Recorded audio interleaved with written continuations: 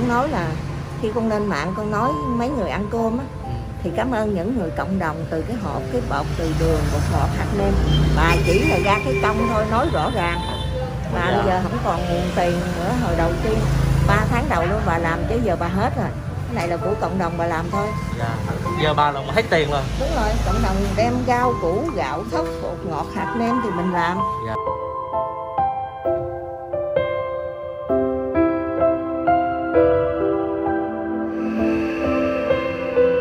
Mười Khó TV xin kính chào à, tất cả quý vị và các bạn.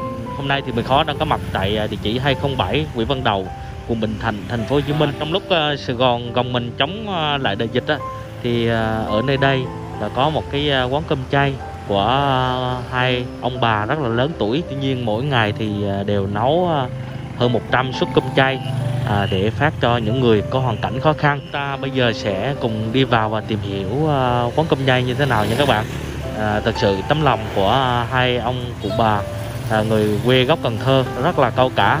À, khiến cho mọi người ai nghe qua thì cũng à, rất là ngưỡng mộ. Đây hiện tại thì à, những à, suất ăn đã chuẩn bị sẵn rồi các bạn. Như đây là đậu hũ nè à, đây là cà và các à, loại rau xào nha. Thì à, cơm ở đây phát là miễn phí luôn. Và ở trong thì hôm nay có à, mấy bạn tình nguyện viên là đến là phụ với à, bếp cơm để làm cơm và phát cho những người à, có hoàn cảnh khó khăn. Đây là phía trong bếp ăn của nhà bà My nha các bạn. Thì à, đây à, có cái bếp ga mà bà My là nấu cơm từ thiện. À, còn phía này là rau củ quả là à, đa số là mạnh thường quân là đem đến để ủng hộ cho bà My. À, và phía trong nhà thì cũng là nơi à, sinh sống của à, hai ông cụ bà. Xong á, thì sẽ được bọc bọc à, ni lông cẩn thận và bỏ lên trên cái bàn này à, cơm rau quả không đồng nha các bạn. Mỗi ngày là từ à, 11 giờ tới 13 giờ. Đây là chị về nói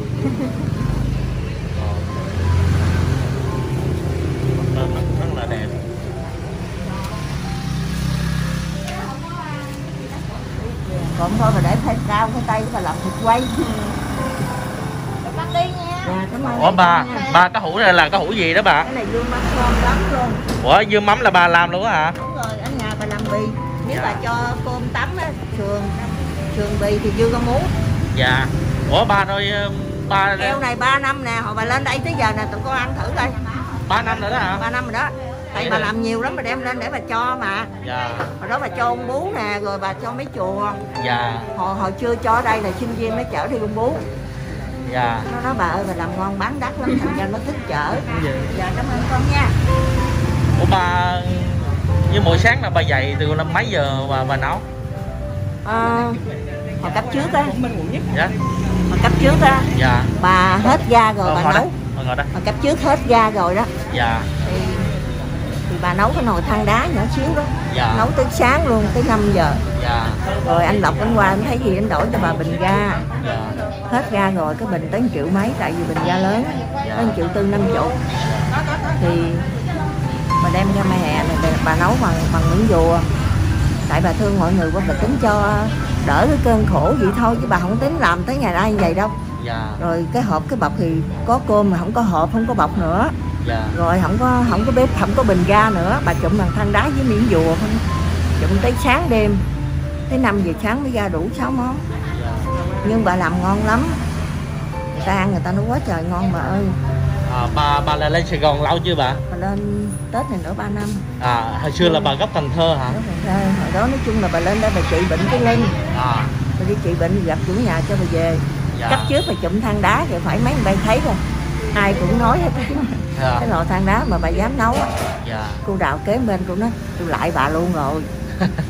Cái lò than đá cái lỗ của lớn à. Dạ. Thay một chảo này mày xào một chút hơn kia năm lần. À, mà bà dám làm. Dạ. Nhưng mà bà thích củ trắng phải cao đồ lắm làm bì nó ngon lắm. Ủa bà rồi bà lớn tuổi mà kinh phí đâu mà mà bà để nấu những suất cơm mà đó, bà bán đó. cơm chay này bà đủ đóng tiền nhà thôi là bà làm từ thiện nè.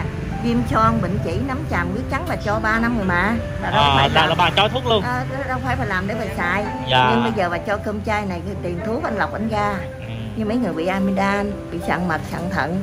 Rồi Dạ. anh lọc anh ra thuốc. Bây giờ anh lọc ở bên công ty cà phê anh ra tiền này. Dạ. Bà làm cơm. Tiền thuốc mình lọc ra. Dạ. Nói chung là bà muốn nói là khi con lên mạng con nói mấy người ăn cơm á Ừ. thì cảm ơn những người cộng đồng từ cái hộp cái bột từ đường bột ngọt hạt nêm. Bà chỉ là ra cái công thôi nói rõ ràng. Bà Dạ. bây giờ không còn nguồn tiền nữa hồi đầu tiên. 3 tháng đầu luôn bà làm chứ giờ bà hết rồi. Cái này là của cộng đồng bà làm thôi. Dạ. Giờ bà là hết tiền rồi. Đúng rồi cộng đồng đem rau củ gạo thóc bột ngọt hạt nêm thì mình làm. Dạ. Thì ờ, qua đây cũng mong là khi mà ai mà coi được clip á ờ, thì ờ, cố gắng hỗ trợ ờ, giúp cho bà. Thì mình có để cái số tài khoản phía dưới á thì mọi người ủng hộ bà thì làm thì ờ, ghi ủng hộ ờ, bếp chơi ờ, bếp cơm chay bà ơi, bà tên gì bà? Bà Nguyễn Thị My sinh năm 151 quê quán Ô Môn Cần Thơ. Dạ. À, của bà My các bạn. Thì các bạn à, nếu như muốn à, ủng hộ thì hãy à, mình có để số tài khoản phía dưới thì các bạn ghi là ủng hộ bà My thì mình sẽ à, trực tiếp và mang cái à, số tiền là đến cho bà để ủng hộ cho bà. À, hiện tại thì à, dịch bệnh khó khăn nhưng bà là bà làm những cái suất cơm chay này là phát cho những người khó khăn các bạn hoàn toàn là miễn phí hết. Thì à, ở đây thì cũng có à, các bạn tình nguyện viên ở à, quận Bình Thành thì à, đến đây cũng à, hỗ trợ giúp đỡ cho bà. À, thì nhìn bà bà My rất là cũng lớn tuổi rồi các bạn thì lưng bà rất là khồm luôn xuống luôn nha. Nhưng mà bà vẫn cố gắng và giúp những người gặp khó khăn. Ngoài ra thì bà còn à, phát thuốc để giúp đỡ à, rất là nhiều người khác. Wow, hồi xưa là chưa có mấy bạn mà giúp đỡ thì không biết là mỗi sáng là bà đi chợ như thế nào ạ? Bà đẩy xe đạp nè bà chiên 15 cái bánh khọt 15 cái bánh xèo bà đẩy bà đi bán mà mua rau chứ bà đâu có lấy tiền bán. Dạ. Tiền mướn nhà một tháng 20 triệu phải tính là tiền điện tiền nước bỏ vô ngày 700 dạ là bà để vô rồi tối bà làm ba chục ổ bánh mì ba chục hộp cơm sườn bì. Bà đi bán nhưng mà ai xin là cho. Dạ. Rồi bán đủ tiền mình đóng tiền nhà thôi mình làm một triệu lận mình làm ba thứ một triệu nhưng mà ta xin cỡ nào cũng còn đủ cái tiền mình đóng tiền nhà. Dạ. Mỗi ngày phải bỏ ống ta con tới tháng là ta lại lấy. Nói chung bà tính khéo là mới ở đây được hai ba năm đó ai cũng nói là nhà mấy chục triệu mà bà hay á tại vì bà có từng đi mướn ở bên campuchia rồi mấy anh ở bên campuchia đó từ nhà mướn bây giờ có nhà trên rồi. Đúng rồi Việt người Việt Nam mà qua Campuchia với Lào là giờ thành công hết. Nhà mà mình ăn ăn đừng ăn chơi đó mà mình xài kỹ là tiện bánh bà quấn chảy giò này với gỏi cuốn ngày đổi 200 đô mấy biết đó con rồi bà làm bánh kem bánh sinh nhật cho một cái một hai trăm đô. Ồ, bà biết làm bánh và bà dạy nó không cho tránh hồng nguyệt thành ra tất cả mặt ăn mày chợ từ mạnh tới chai bánh gì mày hỏi tao là bà biết là hết cho nên bà làm đồ ăn mà ai đó bán gì xách về cho bà bà biết nêm cái đó chất gì. Cho nên bà kêu gọi các con đừng có ăn cái hủ tiếu mà ở trong bịch mà nó có để phở hủ tiếu mà nó có cái hộp hủ đó. Ừ, cái hộp hủ đó là tại vì nó chán nó chán nó để hạt than nhiều quá. Khi mình ăn lâu ngày nó nóng họng nó viêm họng nó làm cho quản. ung thư đường ruột ung thư bao tử ung thư đại tràng rồi đó là do cái hạt than nó bữa hôm nay canh chua ai cũng thích lắm. Bữa nay củ dền nhiều quá bà nấu canh ngọt. Bữa nay bếp ga nó hư. Dạ Ủa, rồi bà. Rồi mùa dịch này là bên chủ nhà có giảm không tiền đâu bốn năm tháng gì dung cho bà không có lấy tiền. Dạ, bốn năm tháng rồi à Dạ, giờ bây giờ bà bán cơm chay bữa lấy phân nửa giá tiền. Dạ cũng tuyệt vời quá bà.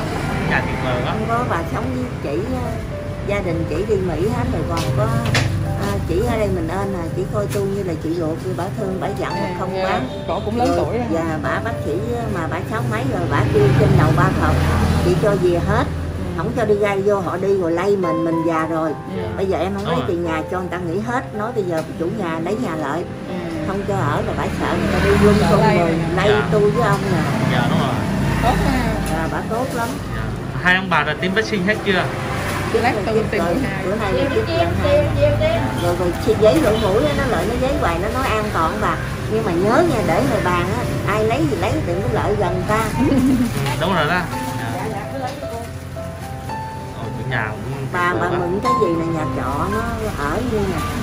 Xin đứa bảy tấm hộp nhà trọ này nhà trọ kia. Hỏi bà cho trời ơi con đói bà nấu nấu đây cho mà lấy bao nhiêu đủ ăn rồi bà cho. Cái người mà người ta lấy hộp giữ lấy lấy nó ta lấy đủ cả ăn thôi còn người ta cần nó xin bốn lấy mình hai hộp nữa con bà? Nói được. Tại vì lấy rồi để chiều ăn luôn nó nó bà ơi con chưa chẻo nên làm chưa có làm được cái vô cái việc tới tới tới lại lại giờ khổ bây giờ đi bộ về hết mới rồi. Đi bộ về còn có sáu đứa. Ngày nào cũng lấy mình hai hộp hết thì nếu mọi người mà có lòng hậu tâm á, thì ờ, giúp đỡ bà My á, thì hãy ờ, cố gắng ủng hộ bà nha. À, cái số tài khoản mình để ở phía dưới á, thì khi chuyển khoản thì à, các bạn ghi rõ họ tên và ủng hộ bà My. Thì à, mình sẽ à, gom lại và mình sẽ đến trao cho bà. À. ở phía trong nữa các bạn. Cơm gạo đồ quá trời luôn. Thần nấu à, cứ à, 25 lon rồi 25 lon, rồi giờ chị nấu mười mấy lon nữa đó, tại vì giờ cũng lặt trễ giờ cơm người ta rồi. Y để cho ông bà nghỉ chứ làm hồi à, ba ba, bốn giờ sáng tới giờ rồi. Chị qua thì chị qua 6 giờ sáng, chị chỉ nấu nồi cơm rồi lặt vặt này kia nọ, bà ngoại có làm đồ ăn. Rồi khi mà làm xong rồi, mọi người về thì chị lặt rau củ, rửa rái. Rồi xong rồi nằm nghỉ một chút, rồi bà ngoại nằm nghỉ cái đó bà ngoại à, làm đồ ăn. Rồi đến sáng 6 giờ chị qua chị nấu cơm. Chân chị làm cũng xuất phát từ được ờ, thế như thế nào xuất phát từ đâu mà chị qua đây